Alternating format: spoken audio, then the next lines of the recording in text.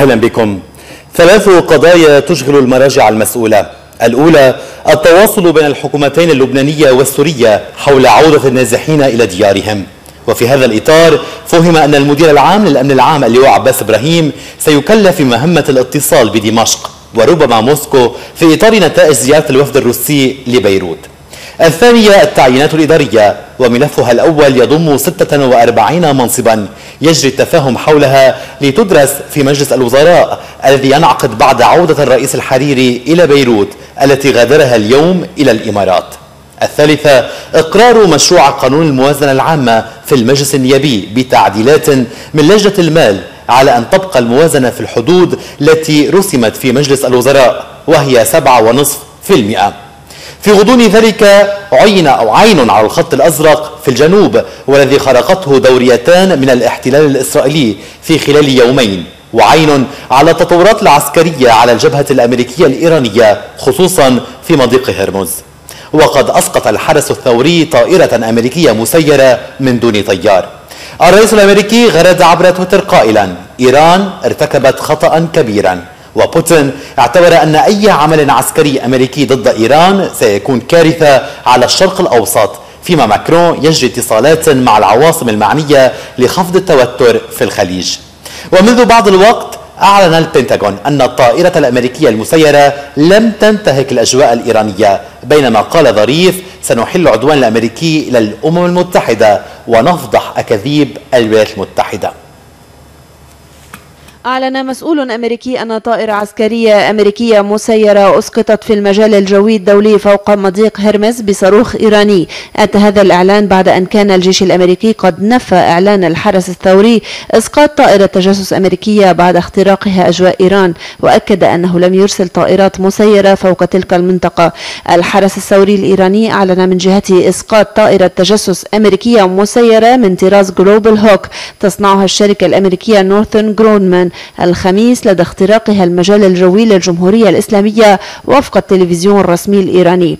وذكر التلفزيون الإيراني الرسمي أن وزارة الخارجية أدانت ما وصفته بانتهاك طائرة مسيرة أمريكية للمجال الجوي الإيراني محذرة من عواقب مثل هذه التحركات الاستفزازية. ونقلت هيئة الإذاعة والتلفزيون الإيرانية عن الحرس الثوري قوله إن الطائرة المسيرة الأمريكية التي أسقطت أغلقت أجهزة التتبع في انتهاك لقواعد الطيران وكانت كانت تتحرك في سرية تامة.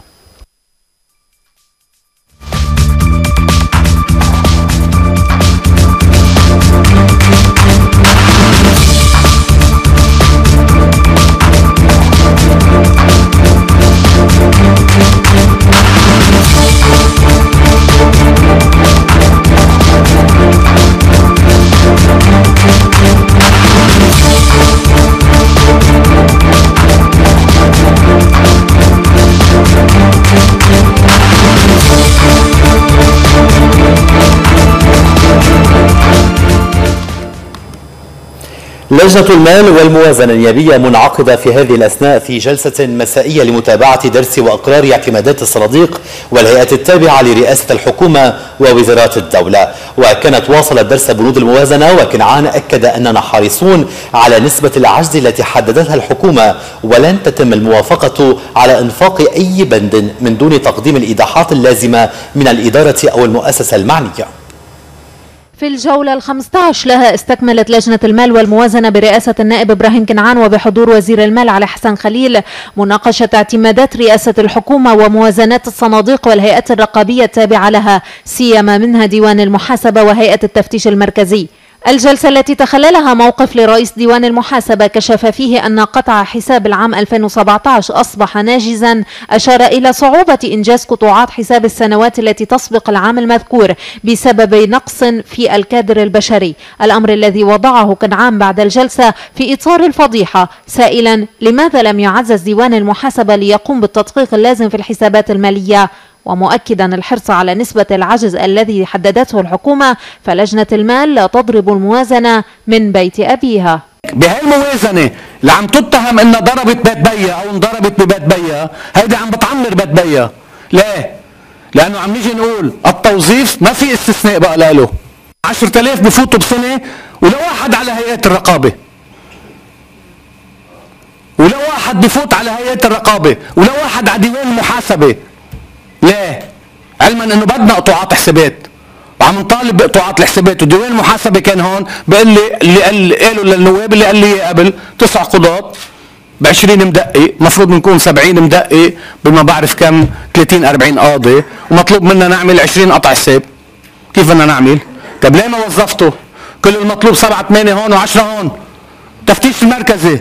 عم يشتغل بكل لبنان ب 10 مفتشين ماليين. هاي مش فضيحة؟ كنعان كرر جدية النقاشات في لجنة المال والموازنة معتبرا أن هناك ما يشوش على الرقابة البرلمانية لأنه مستفيد من عرقلتها مشيرا إلى أن من يريد الإصلاح الفعلي عليه أن لا يخاف من عملها بل يتكاتف حولها كل النواب من كل الكتل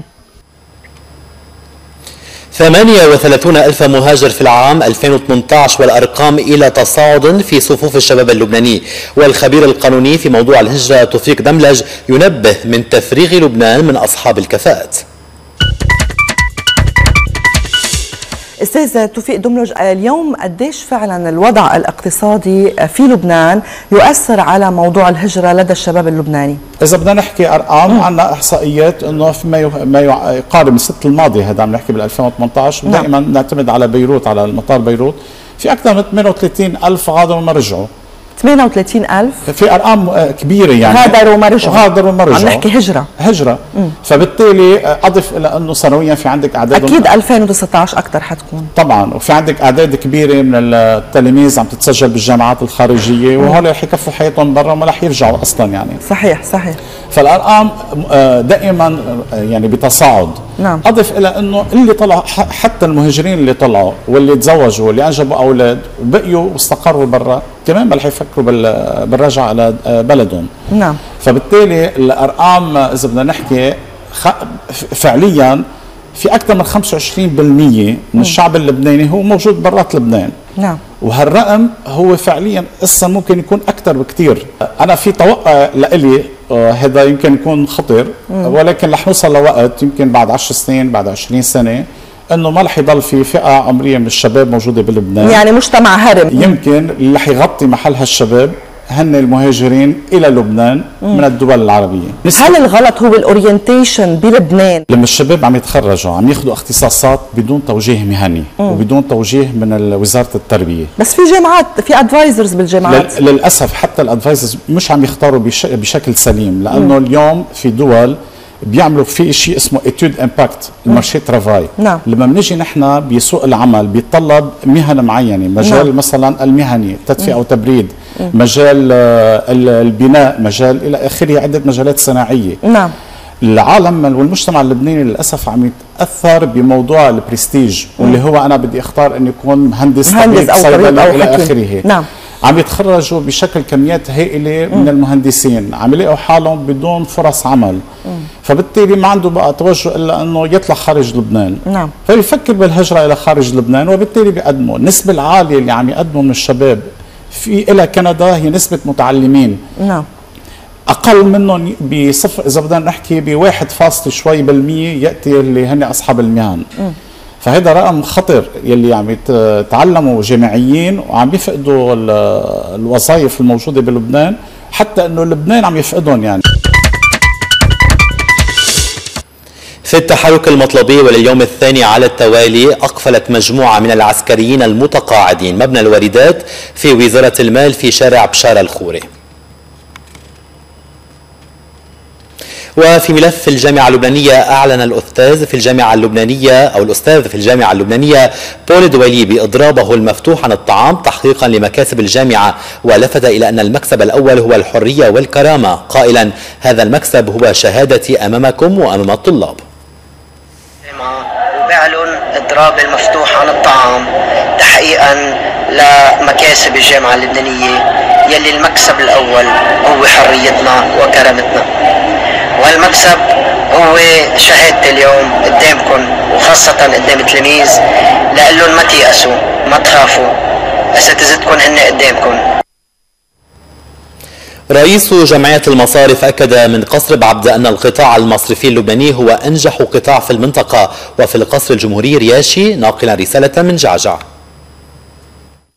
نوه رئيس الجمهورية العماد ميشيل عون بالصمود القوي للقطاع المصرفي الذي على رغم الأحداث والتطورات في المنطقة استطاع أن يحافظ على مستويات السيولة والودائع وإن كان بكلفة أعلى. هذا ما نقله رئيس جمعية المصارف جوزيف طربي عن الرئيس عون لافتا إلى أنه تم التطرق في خلال اللقاء أيضا إلى مسألة تسريع ملف الكهرباء وموضوع استخراج الغاز الذي سيبدأ التنقيب عنه آخر السنة. وأكد طربي ردا على سؤال الاتجاه للتوافق على تولي سليم صفير رئاسة جمعية المصارف آملا أن تؤيد القاعدة المصرفية هذا الاختيار. القطاع المصرفي هو القطاع الاقتصادي الأقوى بلبنان وسيبقى الأقوى وهو خادم كل اللبنانيين بمعنى أنه القطاع هو خزينة اللبنانيين والودائع الصغيرة عزيزة على أصحابها أكثر من الودائع الكبيرة لأنه مثل بيقولوا هذه الحيلة والفتيلة. بعتقد أنه بهم الشعب اللبناني كله يتأكد أنه هالقطاع هو من أهم القطاعات المصرفية بالعالم. هو أنجح قطاع بالمنطقة العربية وهو بالفعل ركيزة استراتيجية للازدهار والاقتصاد اللبناني المقبل. وفيما تابع رئيس الجمهورية المناقشات الجارية في لجنة المال والموازنة لمشروع قانون موازنة 2019 شهد قصر بعبدة سلسلة لقاءات تناولت مواضيع سياسية وإنمائية. فالتقى الوزير السابق ملحم رياشي الذي أوضح بعد اللقاء أنه نقل إلى رئيس الجمهورية رسالة من رئيس حزب القوات اللبنانية سمير جعجع تناولت التطورات السياسية الراهنة والأوضاع في المنطقة. وأجرى الرئيس عون مع النائب سيزار أبي خليل جولة أفق تناولت التطورات العامة وحشت منطقتي علي وشوف والتقى الرئيس عون في حضور وزير الدولة لشؤون رئاسة الجمهورية سليم جريصاتي وفدا من لجنة مالكي العقارات المتضررة في المية ومية ودرب السيم ودكرمان الوفد شكر رئيس الجمهورية لمتابعته الحثيثة لملف العقارات المحتلة في المية ومية وجوارها وقدموا له خرائط وبيانات تظهر العقارات المحتلة وطالب أصحاب العقارات المحتلة بإنصافهم قبل إقفال ملف المهجرين وأعطى الرئيس عون توجيهاته للجهات المختصة بمتابعة مطالب لجنة المالكين لإيجاد الحلول المناسبة لها. وفي القصر الجمهوري نقيب مالكي الشاحنات العاملة بالترانزيت للنقل الخارجي أحمد محمد الخير الذي أطلع رئيس الجمهورية على وضع الشاحنات غير اللبنانية التي تدخل لبنان وتغادره فارغة أو محملة من دون دفع رسوم ومن دون تطبيق مبدأ المعاملة بالمثل بالنسبة إلى الشاحنات اللبنانية. في بيت الوسط وزير الدفاع الياس بوصعب يتحدث عن توافق مع الرئيس الحريري لإيجاد بدائل للبنود في مشروع الموازنة التي تم إلغاؤها في مجلس النواب. مشروع موازنة العام 2019 الذي يناقش في لجنة المال والموازنة وملف المحكمة العسكرية مواضيع بحثها وزير الدفاع الياس بوصعب مع رئيس الحكومة سعد الحريري. بوصعب أكد أن الرئيس الحريري يقف إلى جانب الجيش اللبناني ولا تفرق بينه وبين أي مؤسسة من المؤسسات الأمنية. متحدثا عن أفكار يتم بحثها لإيجاد بدائل للبنود التي تم إلغاؤها في مشروع الموازنة في مجلس النواب. وموضوع الموازنة في نقطتين أساسيات آه، كنا عم نناقشهم وبعتقد في آه، حل موجود آه، في طروحات مقبولة. حكينا فيها مع دولة الرئيس ما بدي أحكي فيها هلأ بالإعلام ولكن هيدا هيدي الأمور إذا تصحت عم بحكي على النقاط اللي جمدت بلجنة المال والموازنة ولم تقر. اثنين منهم لهودي البنود في لهم حلول مقبولة إن شاء الله آه، من بعد عودة دولة الرئيس نرجع نتابع الموضوع ولكن الأمور متجهة بشكل كثير إيجابي. بوصعب أوضح أن من حقه كوزير للدفاع زيارة المحكمة العسكرية مشيرا إلى أن زيارته الأخيرة أتت في إطار البحث عن إصلاحات في هذه المحكمة. قائلا أعتقد أن الرئيس الحريري لا يعتبر أن زيارتي للمحكمة العسكرية كانت تدخلا. وعن حقوق المتقاعدين العسكريين أشار أبو إلى محاولات للمحافظة قدر المستطاع على حقوقهم وهناك بحث لإيجاد حل خصوصا فيما يتعلق بوضع ضريبة دخل على المتقاعدين. الرئيس الحريري عرض العلاقات الثنائية مع السفير الفرنسي برونو فوشي.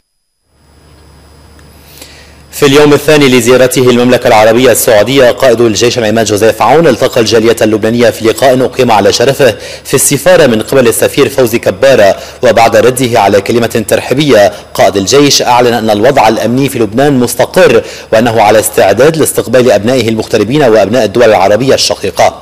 وشدد العماد عون على أهمية العلاقات الثنائية بين لبنان والسعودية مثمنا دور المملكة في دعم الدولة اللبنانية وجيشها مؤكدا الدور الأساسي الذي تؤيده الجالية في تعميق العلاقات. من جهة ثانية تسلم العماد عون من نظيره السعودي رئيس هيئة الأركان العامة الفريق الركن فياض بن حامد الرويلي وسام الملك عبد العزيز من الدرجة الممتازة. التطورات السياسية عرضها رئيس مجلس النواب نبيه بري مع المنسق الخاص للأمم المتحدة في لبنان والتقى المستشار الثقافي الإيراني في لبنان محمد مهدي شريعة مدار في زيارة وداعية. في بكركي البطريرك الراعي يلتقي وزير المهجرين غسان عطلة الذي أطلعه على خطط وزارة المهجرين وعملها للتمكن من إقفالها بعد ثلاث سنوات بإنجاز مهمتها على أن تعرض الخطة على مجلس الوزراء. كيف رح نبلش؟ ومن وين؟ وشو الأولويات؟ وشو المعايير؟ وشو الضوابط اللي نحن رح نلتزم فيها؟ لتكون ما في أي استرسالية بمعالجة أي ملف. وبالتأكيد يكون في عندنا حرص شديد على حقوق الناس اللي صار لها 25 سنة ناطره انه بالاخر تستوفي حقوقها من وزاره المهاجرين. وزير الصحة جميل جبق استعرض مع شيخ عقل طائفة الموحدين الدروز الشيخ نعيم حسن خطط الوزارة التي تستند إلى دعم مراكز الرعاية الأولية. جبق شدد على الإنماء الصحي المتوازن وسمع ثناء الشيخ حسن على افتتاح مراكز صحية في عدد من المناطق بينها رشية وحصبية. عم نستكمل جولتنا بزيارة سماحة شيخ عقل الطائفة الدرزية ببيت الطائفة الدرزية ببيروت لحتى نحطه ضمن المشروع الخدمة الصحية اللي اعتمدناه بوزارة الصحة. ولحتى نقول له إن إحنا حاطين كل إمكانيات وزارة الصحة بتصرفه لأنه بنعتبر إنه رؤساء الطوائف الروحية مسؤولين عن كل الناس اللي محتاجين بهالبلد. الملاذ الأول للإنسان المحتاج بالبلد هي مراكز آه، روحية بلبنان. وبالتالي مثل ما هن عم يتحملوا مسؤولية تجاه الناس المحتاجة نحن بدنا نساعدهم نتحمل جزء وعبء من هالاحتياجات للمواطنين اللبنانيين.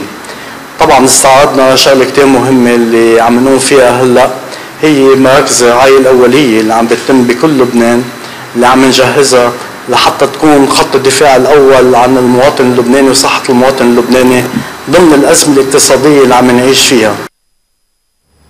وفد مجلس شورى السعودي يستكمل جولته ولقاءاته مع المرجعيات. استكمل وفد مجلس شورى السعودي لقاءاته مع المرجعيات وزار اليوم مفتي الجمهورية اللبنانية الشيخ عبد اللطيف دريان ناقلا إليه حرص العاهل السعودي وولي عهده على استقرار لبنان ووحدته وعروبته. إلى طرابلس حيث زار الوفد الرئيس نجيب ميقاتي الذي أشار إلى أن ما قامت به السعودية في العقود الماضية يؤكد أنها خير سند للبنان. كانت خير سند وصديق للبنان. لا يمكن أن ننسى مساعداتها في الأوقات العصيبة التي مر بها لبنان. وأيضا نثمن ما تقوم به المملكة من استضافة اللبنانيين على أرضها وإيجاد فرص العمل في هذه الأوقات الصعبة. فاللبنانيين في المملكة يشعرون انها أنهم حقيقه لا أقول في بلدهم الثاني بل في بلدهم لأن لبنان والمملكة العربية السعودية متكاملان. الوفد زار غرفة التجارة والصناعة في طرابلس والشمال حيث كان في استقباله رئيس الغرفة توفيق دبوسي وأعضاء مجلس الإدارة وعقد لقاء موسعا في الغرفة بحضور نواب وفعاليات المدينة.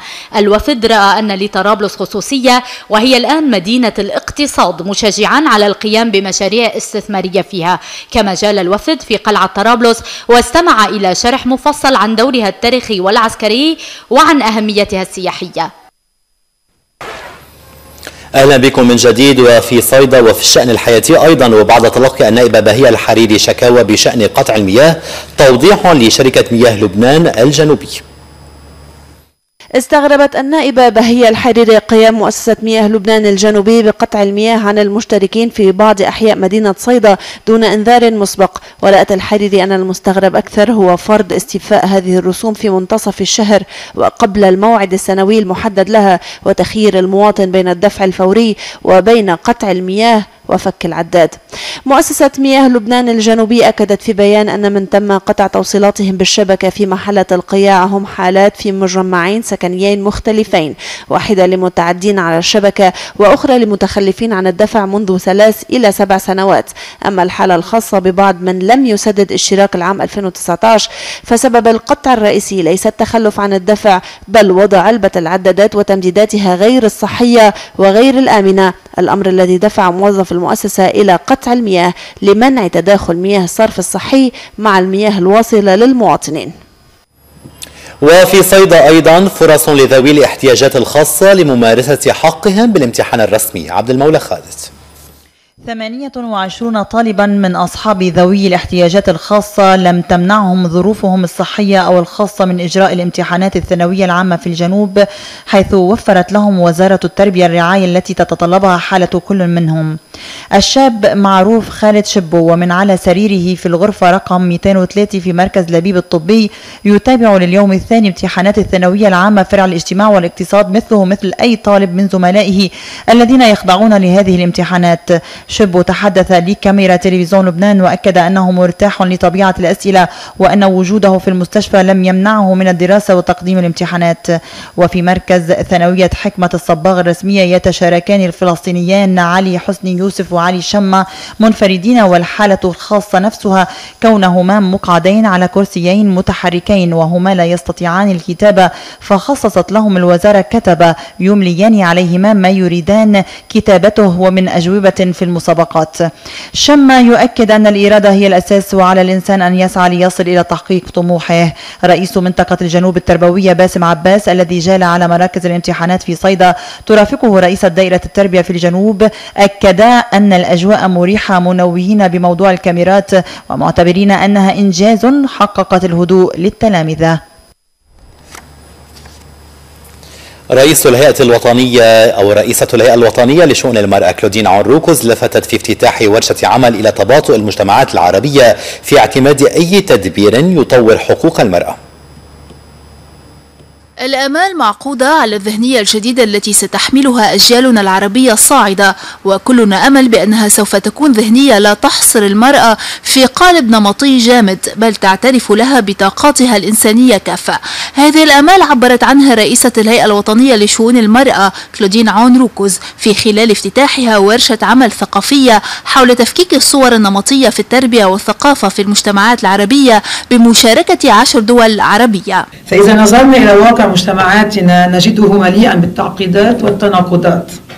فمن جهة نرى أن مجتمعاتنا لا توفر جهدا بغية الحصول على أحدث الابتكارات التقنية في مجال التواصل أو النقل أو في أي مجال علمي وتقني. فيما نرى أن هذه المجتمعات تتردد وتتباطأ في اعتماد أي تدبير أو تعديل يتيح حصول تطور في الحقوق المعترف بها للنساء. أما مديرة منظمة المرأة العربية فاديا كيوان فلفتت إلى أن إطلاق ورشة مكافحة التمييز من المهد إلى اللحد. هي تعبير عن القناعة بأن الجهود التشريعية على أهميتها هي ضرورية لكن غير كافية. فهناك ممانعة من الذهنيات السائدة ومن بعض الأنماط الثقافية.